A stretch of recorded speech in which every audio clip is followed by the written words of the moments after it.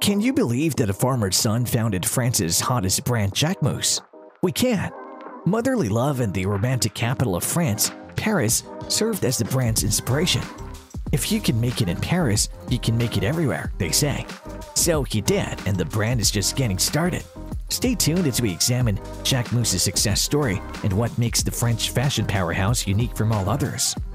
Despite not being as well known as some of the greatest brands in fashion, Jacquemus has created a reputation for itself during the past 10 years. Created by Simon Porte Jack Jacquemus, the exquisite talent of Paris has cemented its place in the fashion industry. Jacquemus has mastered the art of success, from creating the notorious little bag trend to shattering the internet with the most unreal runways. In the south of France, Simon Porte Jacquemus was born in 1990. His upbringing in the countryside and the fact that both of his parents were farmers are thought to have had a significant impact on his aesthetic preferences. Jacquemus was a kid actress and model who, at the age of 8, wrote to another Frenchman, Jean-Paul Gaultier, whose sassy irreverence was a big influence, offering his stylistic skills. Explaining about the incident in a Vogue interview, he said, You know what was my argument in the letter? At my age, I'll be the youngest stylist, so maybe you'll have a lot of publicity around that. As a young child, Simon's desire to design clothing became ingrained in his head. At the age of seven, he made his mother a skirt out of a house curtain. Another motivation in Simon's life and profession is his love for his mother. The young Simon later turned his early views into a tribute to French women.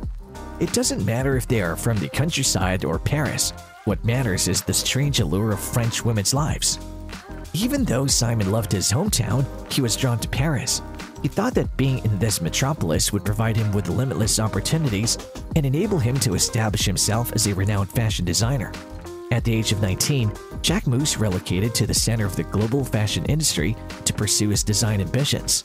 However, the young artist's joy was short-lived when he learned that his mother had died in a vehicle accident at the age of only 42. He founded his well-known fashion house Jacquemus in honor of his mother, the lady who still serves as his source of inspiration and motivation today. Jacquemus was only 19 years old and had only lived in Paris for one month. Despite all the challenges in life, he took a leap of faith. For a rookie designer, the practice was clearly missing, even if there was significant ambition. Simon asked his buddy, a seamstress, to sew a number of items in accordance with his sketches.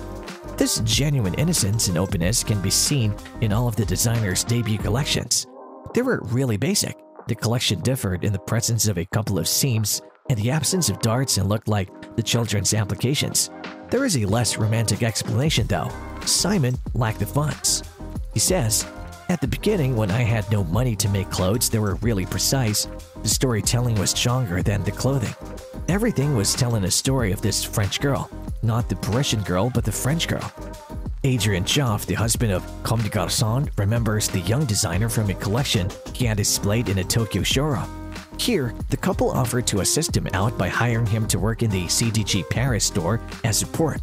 As he started to study the ins and outs of the business at the Comme des Garçons store in Rue du Faubourg Saint-Honoré, Jacquemus developed his own collections in his spare time. The artist began to really fly at that point. In 2012, Jacquemus debuted at Paris Fashion Week as one of the youngest people ever. His fresh perspective, original business plan, and distinctive point of view resonated with both the fashion audience and consumers, and industry insiders took note. He was given the opportunity to host a catwalk in his hometown in Marseille in 2017 by the prestigious Maison Méditerranéenne des Métiers de la Mode. And his spring-summer 2018 collection, dubbed La Bomba, was purchased by some of the biggest retailers in the world including Selfridges, Moda Operandi, and Net-a-Porter. The Jacquemus saga had not only begun, but also left a lasting impression on the fashion world. The label is able to create something that not only properly balances the commercial and the intellectual aspects, but fuses the two into something solely original. It does this by fusing sensual minimalism with young freshness and playfulness. In each collection, Jacquemus creatively portrays the romantic tale of folklore and artistry from the French shore, drawing inspiration from his roots in southern France. Every runway presentation is intensely personal and intended to convey the designer's life narrative and worldview rather than just sell clothing. Jacquemus claims, I don't do garments, I do stories, and it's obvious that buyers can get enough of these tales. Simon Porte planned a parade in Paris on June 24th to commemorate his brand's 10-year anniversary. There, he unveiled L'Amour, his brand new spring-summer 2021 collection. Due to COVID-19, only 100 visitors attended the performance, which was held in a wheat field an hour outside of Paris. Even with all the restrictions, Simon was able to create something so original and amazing that shocked the industry. Then again, the company Le Papier collection debuted in fall 2022 in the surreal salt highlands of the Camargue. Models descended from the Middle Hills to present a collection that featured tulle, deconstruction, sheerness, and cloud-like outerwear against the backdrop of salt flats, which created an otherworldly scene. The Fall 2022 collection established a fresh start for the designer and a new era for his brand. He demonstrated that he's anything but a one-trick pony, and despite being different from prior collections, the audience enthusiastically responded. Jacquemus stuck to his buy now philosophy, and some items were gone as soon as the live event ended.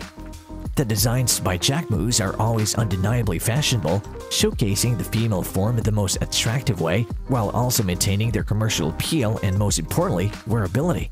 It is a French idea with a very modern and quirky twist that differs from a lot of old luxury and the traditional Parisian brands, which historically have expressed themselves in a much stricter way. Jacquemus successfully creates true accessibility without sacrificing its luxurious image by playfully experimenting and making a statement with size and silhouette. Jacquemus himself clearly has a distinct brand identity and a compelling narrative to tell, and one of his talents is his capacity to communicate all of that through marketing.